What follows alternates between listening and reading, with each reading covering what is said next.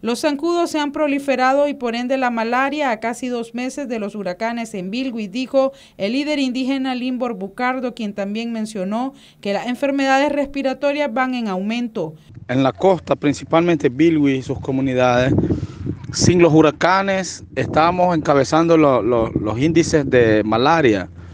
Y ahorita, eh, después de, los huracanes, pues lógicamente, es un hecho que sí se ha proliferado los zancudos.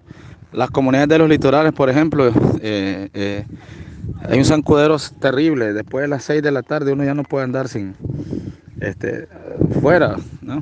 O sin, ropa, peor. Eh, eso es uno en las comunidades de los litorales del, río Coco abajo.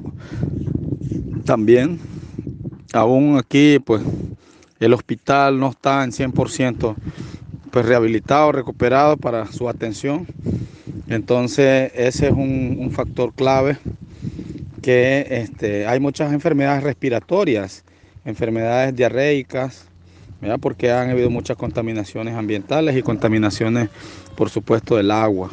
Los cultivos se encuentran seriamente afectados y por ende la economía de las familias en Bilwi, dijo Bucardo. En tema de crisis, lógicamente, ahora, después de los dos meses que han transcurrido, después del paso de del último huracán, a las comunidades de, donde trabajan la agricultura, que son los llanos, la zona de, Río Coco, pues han perdido todos sus cultivos. A ellos les afectó una parte del viento y otra parte las inundaciones.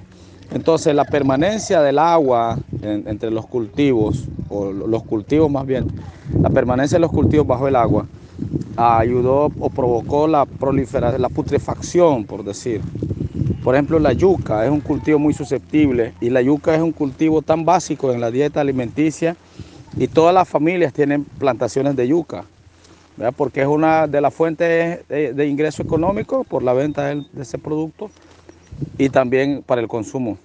Y lo otro es también las musáceas, eh, cultivos de, muchos que tenían arroz todavía cosechado en, en sus parcelas, se perdió, otro se perdió en plantaciones de arroz. La, yuca, por ejemplo, cuando uno lo arranca, ya, ya sale podrida. Para Noticias 12, Castalia Zapata.